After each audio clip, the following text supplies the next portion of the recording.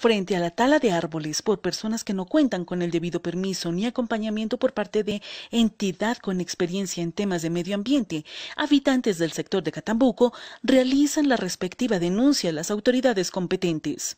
Eh, extrañado e indignado con la escena que encontramos el día de hoy en la mañana, domingo, en el parque de Catambuco.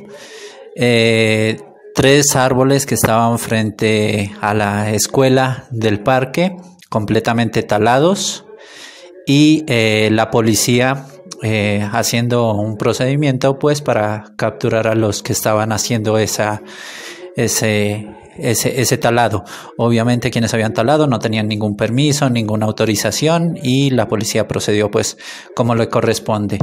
Además, denuncian que la responsabilidad corre por cuenta del señor corregidor Carlos Calderón y su secretaria, quienes toman la decisión sin tomar en cuenta los protocolos e normas ambientales a seguir.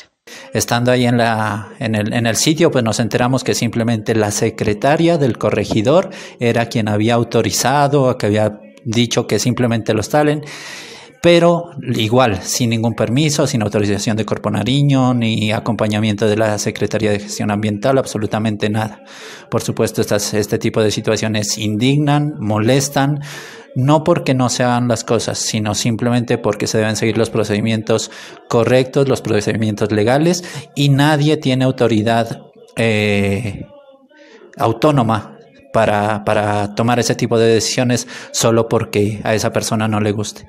Eh, como habitante del sector, pues me siento muy indignado y pues espero que ya la situación, ya el daño está hecho.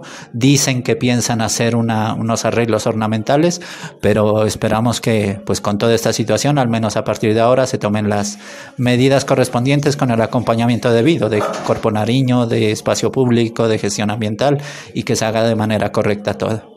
Finalmente, otro factor que contribuye a la falta de participación de la comunidad es la falta de comunicación, que para las personas es de importancia al tomar decisiones en temas de medio ambiente. La, decisión eh, fue, fue realizada sin ningún tipo de consulta. Nadie del pueblo sabía, simplemente habían unas personas ahí eh, entre comillas, colaborando para recoger las cosas, pero en el resto del pueblo no se sabía absolutamente nada. De hecho, conozco la situación y se comunicó del anterior proceso que era una poda que se llevó a cabo en el parque, pero fue eso y se llevó a cabo sin ningún problema, sin ningún contratiempo.